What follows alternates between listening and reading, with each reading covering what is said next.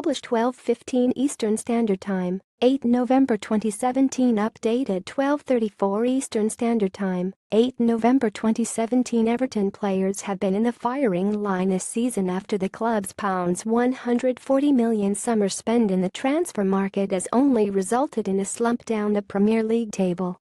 But it appears the current set of Toffees players could be having a much harder time of it judging by the antics at the club's training ground when Thomas Gravesen was at the Merseyside outfit.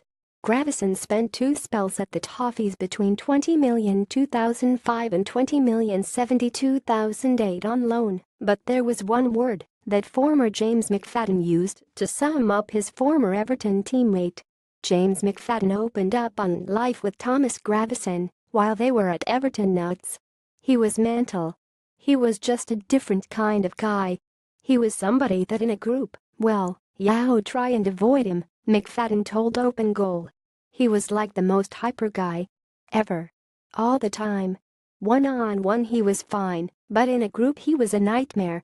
Once there was me, and Jimmy Lumsden Hess about 60 with white hair Thomas used to throw him about.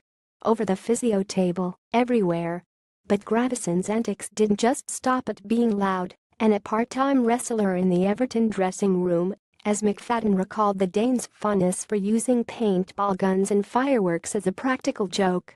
Gravesen quickly became a fan favorite following his arrival at Goodison Park in 2000 Gravesen celebrates a goal at Birmingham City in 2004 and was known for his eccentric way since he brought a paintball gun in and started just shooting people.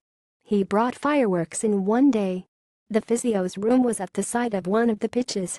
The physio was one of the fittest guys at the club, he was in his 50s and used to play a bit. He was running with the injured players when Tommy comes out with a big rocket and fires it right at him. Despite his craziness, Gravesen now lives in Las Vegas with his wife Camilla Perse following earnings and successful investments that helped the Dane pocket 80 million pounds. The former midfielder's money management was noted by McFadden who also admitted that manager David Moyes struggled to get tactical instructions to his ex-teammate. Following retirement from football Gravesen now lives in Las Vegas with his wife Camilla Persa had no outgoings, no bills, McFadden continued. He used to stay in Lee Carsley's flat. He didn't like having bills. He had a nice motor, but in the winter he'd sell it and buy a Renault Megane, because that's a winter car.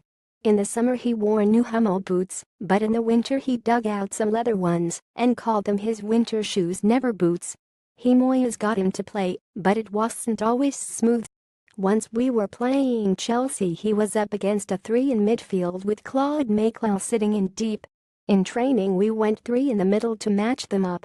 Moyes told Gravesen to stick with Deeply and Guy, don't let him out of your sight, he bellowed. McFadden was a teammate of Gravesen at Everton between 2003 and 2005 Don't move off him, he said. As soon as the ball went up to the fullback, Tommy sprinted toward the fullback to get the ball. Stop, shouted Moyes. Tommy, what you doing? I can get there gaffer. Just don't move, said Moyes. Next time ball was in the play Tommy was after it again I can't help it gaffer, he said. Moyes just said, right, move on. He would win games for you, simple as that. I spoke to some people when he scored for Celtic and told them that he would be far the best player in the league. Technically he was amazing. Tommy was brilliant. At everything.